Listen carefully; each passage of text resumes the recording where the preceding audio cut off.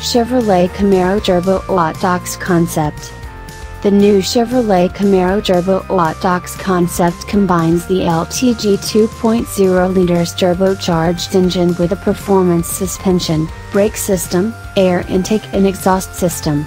It melds the Camaro's excellent power to weight ratio with more agile handling that's ideal for autocross enthusiasts. This concept pushes Camaro in a new direction, integrating new performance parts that make the most of the turbocharged Camaro's lightweight dynamics, said Jim Campbell, GM US Vice President of Performance Vehicles and Motorsports. The concept features the Chevrolet Performance Suspension Lowering Kit, which includes stiffer springs and specifically tuned dampers and lowers the ride height up to 0.75 inch. 20 mm.